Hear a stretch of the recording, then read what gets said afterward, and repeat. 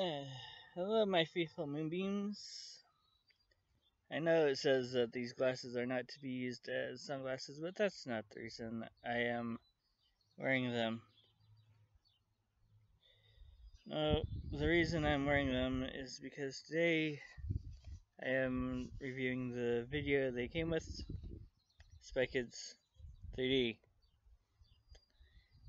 Rated M for Moonbeam 87 approved. I've seen all three Spy Kids films. And by the way, I think that um, the first. I think that. Uh,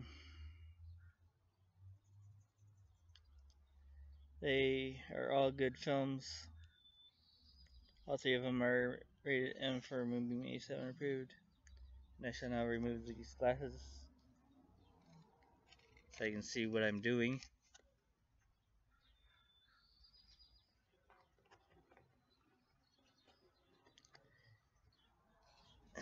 I was just doing that for show. but, um, I think that uh, Wizard 101 should be a game much like the one they were playing in, uh, in this film, which is a virtual reality game that uh, you play and I think the premise of Wizard 101 should remain the same. Just a little plugin that you put into your computer. And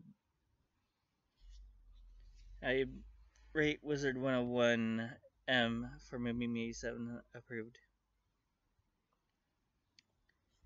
As I said, I have six avatars on Wizard 101 all of them named Emma,